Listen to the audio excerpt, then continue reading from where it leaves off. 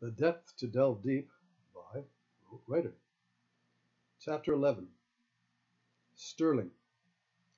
This plan, so seeded, sprouts one day after discerning and learning its location and relevance to a favorite flick.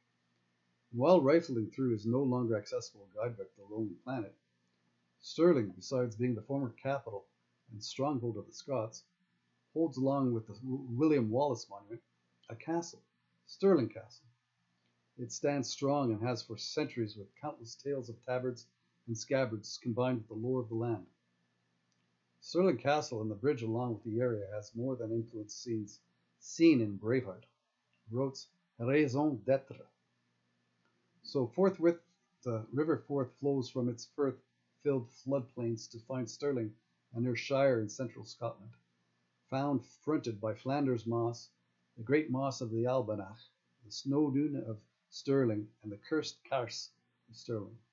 Ah, to be twirling to Stirling! The trip begins with a bus boarded by all the wee ones on their way to school. Each stop secures another Scottish small fry, beginning with the brood belonging to the owners of the inn.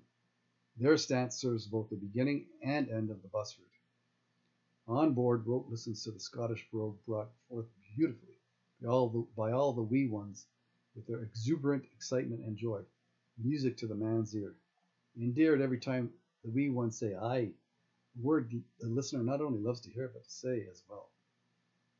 It seems his English expressions are speckled with kinspeckle. Now instead of saying thank you, he says cheers, as if it seems to be their way of showing not only gratitude but also serves as a salutation. With a similar salutation, he addresses people with all right instead of hello, here in the afternoon greeting form. After the wee ones are off the bus by their school, the bus barrels bravely as the wild winds weather a storm.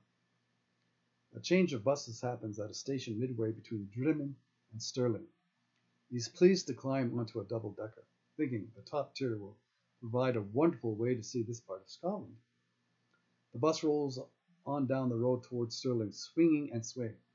The driver decides to wisely woe the toe, realizing the wind now reaching gale forces will flip the sail-like height the double-decker over onto its side. Off the bus, Rote backtracks by foot to the coach station. So do the few other passengers. They all get on board a standard-sized bus and are back on track while weathering the wave like a sway, weathering the wave like sway of the bus. They arrive safely in Stirling. There he hikes up towards the castle. Stirling Castle is a Scots stronghold that towers over the town. It's mounted on a volcanic summit with sheer-faced walls of lava forming a front from would-be wars. Up the windy road Rote goes, through an old gateway into an even older cemetery. He strolls by the sad stones on his way up and out and in through the main gates of Stirling's formidable fortress. The wind is howling by the time Rote comes to the fort's front gates. He enters the castle's corner store and pays the seven quid. Now in good stead with his start inside Stirling Castle, caution to the wind as he heedlessly hikes up the cobblestone pathways and through the castle's enclaves, weathering the winds while repelling rains. Wow, what a wonderful sensation this would-be warrior senses walking around the parapet's perimeter walls, with a view of the land from every direction. With the wind howling hell, he holds tightly to the gravitational pull meant to keep kin on foot and ground while the wind gusts gales. Rote's a child at heart. He races into each turreted tower to peek through the tiny slits, imagining Scots scouting out the land in the same stand. He feels linked to the past, an ancient time when the English kept a coming. Inside the castle museum, he gets a chance to look back in time and begins to be drawn into the dawn of the Scots. Rote sees by tapestry how the Scots story supposedly spawns in Scythia.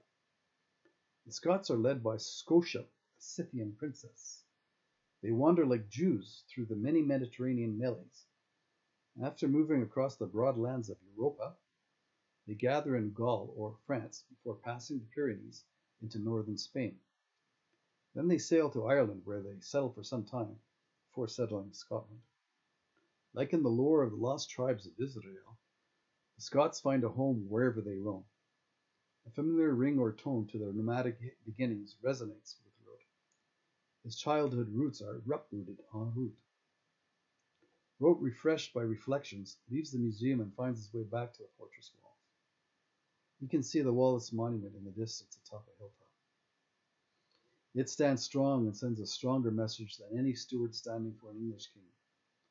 Sir William Wallace stands on his own hilltop, apart and above the Shire of Stirling, as guardian and high protector of Scotland. Aye, as far as the eye can see is seen. The view from Stirling Castle is only strained by the storm.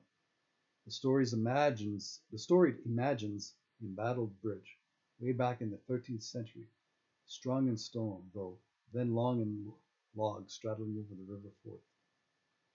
Forthwith from the Firth of Forth, during a brilliant battle brought to bear by William Wallace, where the old device of divide and conquer captures the curlew call of the wild weald of a Wallace, a Wallace, a Wallace. It brings to life Rote's raison d'etre, Braveheart.